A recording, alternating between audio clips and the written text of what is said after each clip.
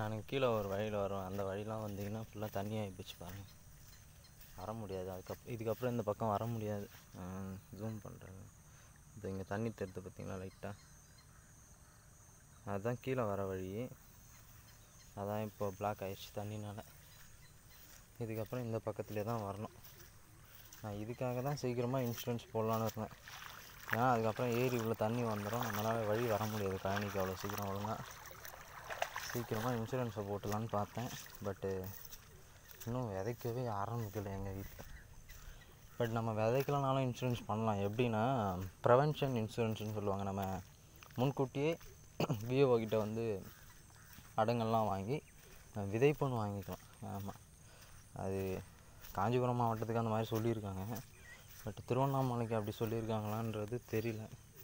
Prevention insurance அப்படின்னா அதுக்கு ஒரு டாபிக் இப்போ புதுசாக கொடுத்து அப்படி நீங்கள் பண்ணிக்கோங்க. ஏன்னா இப்போ டேட் எக்ஸ்டெண்ட் பண்ண மாட்டேன்னு சொல்லிட்டாங்க. அப்படின்றப்ப இந்த ஒரு இதுவாச்சும் பெனிஃபிட் கொடுக்கணும்ல எக்ஸ்ட்ரா அதுக்காக நீங்கள் விதைக்கலனாலும் பரவாயில்ல. முன்னாடியே போயிட்டு இந்த மாதிரி ஒரு விதைப்புன்னு போட்டு நீங்கள் இன்சூரன்ஸுக்காக அடங்கலை வந்து விஏஓஸ்கிட்ட வாங்கிக்கலான்ற மாதிரி சொல்லியிருக்காங்க. பட் ஏன் நேரம் பாருங்கள் சனி ஞாயிறு. வரமாட்டாங்க. திங்கக்கிழமை லாஸ்ட் டேட்டு நான் இங்கே இருக்க மாட்டேன். வீட்லேயும் யாரும் இருக்க மாட்டாங்க. வேறு வழி இல்லை. இந்த வாட்டி இன்சூரன்ஸ் கட்ட முடியாதுன்னு தான் நினைக்கிறேன். பார்க்கலாம் நீங்களாம் கட்டிவிடுங்க கரெக்டாக பார்த்தீங்கன்னா நம்ம கழனி போகிற வழி கூட தண்ணி தான். இந்த பக்கம் ஃபுல்லாக தேங்கிச்சு இந்த பக்கம் கூட தேங்கிட்டு தான் இருக்குது. வெளியே தான் போனோம் வேறு வழி இல்லை. இருக்குது காலம் இதெல்லாம் வந்து எந்த வகையில் கிளைம் பண்ணலான்னா இயற்கை பேரிடர். இந்த ஒரு ஆப்ஷன் மூலிமா வந்து நம்ம இன்சூரன்ஸ் கிளைம் பண்ணிக்கலாம் இதுக்கெலாம் மழை வந்து ஓவராக வந்துருச்சு காற்று அடிச்சு என் பயிர் சாஞ்சிச்சு இந்த மாதிரி நிறைய ஆப்ஷன்ஸ் இருக்குது இது மூலிமா வந்து நம்ம இன்சூரன்ஸ் கிளைம் பண்ணிக்கலாம். எருவு கூட வாரி கொட்ட முடியல இந்த மழையில். அப்படியே காஞ்சி போய் வேஸ்ட்டாக கிடக்குது. சி சாரி காஞ்சி போய் இல்லை ஈரமாக நல்லா மக்கி சூப்பராக இருந்தது. இந்த மழையில் எப்படி ஆயிடுச்சு பாருங்க. வேறு பண்ணி கிளறி வச்சுருக்கு சுற்றி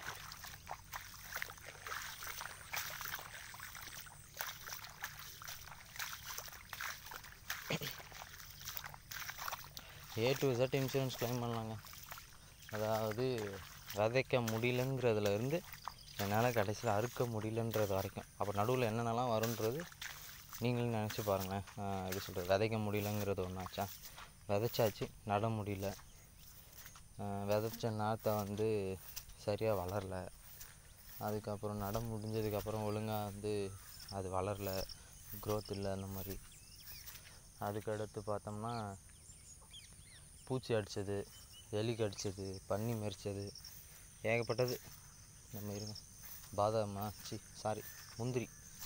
முந்திரி க்ரோத் எப்படி இருக்கு பரவாயில்ல. நல்லா தான் இருக்குது முந்திரி.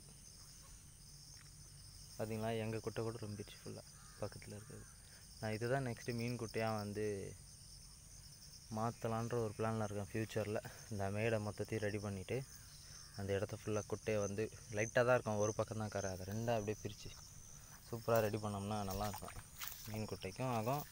நமக்கு இந்த பக்கம் இருந்து வர மொத்த தண்ணியும் வந்து அப்படியே இது மூலிமா வழியை பண்ணி எங்கே விட்டுடலாம் ஏன்னா நம்மளது தான் லாஸ்ட்டு கனி கீழே. அதுக்கு அடுத்து ஒரு கனி தான் இருக்கும். ஆனால் அந்த வழியில் போகாமல் நம்ம வழியில் தான் அதிகமாக தண்ணி வரும். ஸோ அதை அப்படி திருப்பி திருப்பி விட்டோம் அப்படின்னா நமக்கு தண்ணியும் சேவ் பண்ண மாதிரி இருக்கும். அது இல்லாமல் புதுசாக இப்போ கொஞ்ச நாள் முன்னாடி ஒரு ஆர்டிக்கல் கேள்விப்பட்டேன். என்னென்னா கிணத்து தண்ணி உப்பாக இருக்குது அப்படின்னா மழை தண்ணி நம்ம நிலத்துலையும் குட்டைகள்லையும் சேமித்து வச்சோம் அப்படின்னா அந்த தண்ணி வந்து நல்ல தண்ணியாக மாறிடுதுன்ற மாதிரி சொன்னாங்க. நிறைய விவசாயிங்க வந்து இது அனுபவப்பட்டும் சொல்லியிருக்காங்க. பட் நம்ம தண்ணி சூப்பராக இருக்குது ஸோ அதனால் பிரச்சனை இல்லை.